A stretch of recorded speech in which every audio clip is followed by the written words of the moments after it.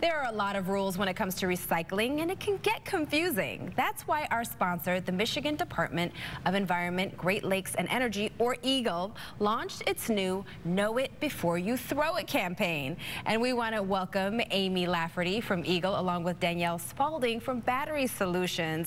Ladies, thank you for being here. Thank you. And we're talking batteries, and this is like the perfect time to talk about this for me because I have some that I'm trying to get rid of.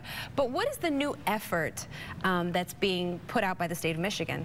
Yeah, so the Michigan Department of Environment, Great Lakes and Energy, or EGLE, as you said, has launched this new Know It Before You Throw It recycling campaign. Okay. And we launched this to kind of help better inform Michiganders what they can and can't recycle curbside, and then also to kind of promote some recycling best practices. Mm -hmm. So Michigan's current recycling rate kind of hovers around 15%, and that's the lowest in the Great Lakes region and also one of the lowest in the country. Okay. So we're hoping to double our recycling rate to 30% by 2025 with this and also kind of promote some of the economic and environmental benefits of recycling as well. That's great. And I think that know it before you throw it will be helpful because then once you know what to do, mm -hmm. then you'll be more likely to do it. So EGLE provides guidance on what to do with recyclable materials like metals, glass, plastic, mm -hmm. and so on. But what about batteries? Talk to us about this because I was telling them off camera, I have a bunch and I don't know what to do with them. Mm -hmm.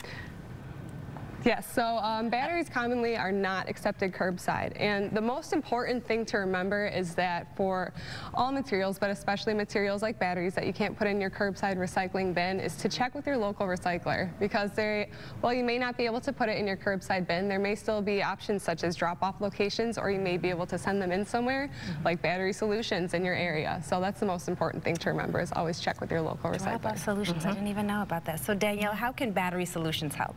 Well, uh, so we provide items like uh, mail-in pails, for example, and for us, uh, we've actually been servicing Michigan for over 25 years and are actually a leader in North America around battery recycling solutions from end-to-end -end management, whether that be collection through the pails or logistics services or battery sorting. We do try to provide a full range of services based on any size of battery that people may have. So when you look at pails like this, you can order them right online for example, with prepaid shipping.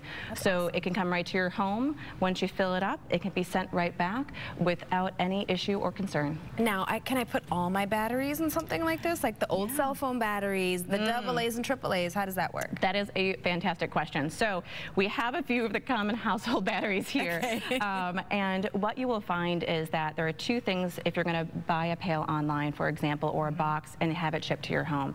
The first is the weight, okay? Ah. So there's different sizes size of pails, so please do make sure that you check to see if you're like me with a small one, mm -hmm. you're going to have a lot of batteries in your house. Mm -hmm. um, or you want to double check what types of batteries can go in these pails. Okay. Um, for example, some can be commingled like this one, and you can put all of these types of batteries from cell phones to laptop cases to just the standard ones that might be in your remote control mm -hmm. right into the pail itself. Okay. Um, other ones require certain chemistries only.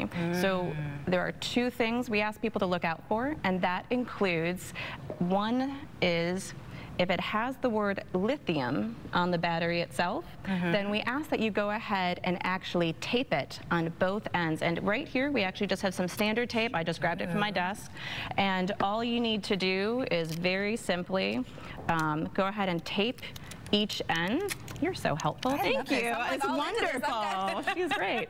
Um, and then you can go ahead and put it in the pail directly. Okay. Um, the other item that you would need to tape is anything specifically such as 9 volt or larger. So these are things I'm going to find in my garage quite frequently. Okay. And then these contact points is the only other area. And again, just take clear plastic tape so when they come into the facility, we have to be able to see them and sort them. Mm -hmm. uh, and you can put it right in the pail itself. Very good good. This is great information. I'm going to be putting to this to use immediately. Mm. Yes, yes. To learn more about the new EGLE campaign and to get more information on recycling, visit recyclingraccoons.org. I love them, by the way. And if you want to learn more about how to recycle your batteries, visit batterysolutions.com.